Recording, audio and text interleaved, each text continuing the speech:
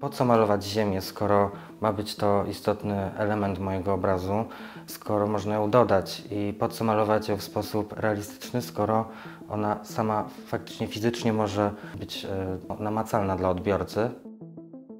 Obraz powstawał w takim momencie, w którym dowiadywaliśmy się o mm, dramatach ludzi, którzy chcą się mm, dostać do lepszego świata, ale tak naprawdę e, nie mogli tego zrobić. Wierzchnią warstwę tworzy ziemia z mojego ogrodu. Tam dodana materia tak pobudza wyobraźnię, że wielu odbiorców ma ochotę tego dotknąć albo czuje zapach ziemi, mimo że go tam nie ma.